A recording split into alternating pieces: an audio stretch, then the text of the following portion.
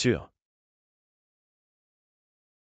Sûr est un adjectif qui exprime la certitude ou la sécurité. Voici quelques exemples pour mieux comprendre son sens. Je suis sûr que j'ai laissé mes clés à la maison, dans cette phrase, sûr indique que la personne est certaine de l'endroit où elle a laissé ses clés. Ce bâtiment est sûr en cas de tremblement de terre, ici, sûr signifie que le bâtiment est solide et ne risque pas de s'effondrer en cas de séisme. Je me sens en sécurité avec toi, je sais que tu ne me feras jamais de mal, dans cette phrase, sûr exprime un sentiment de confiance et de sécurité envers une personne. En résumé, sûr est souvent utilisé pour exprimer une idée de certitude ou de sécurité.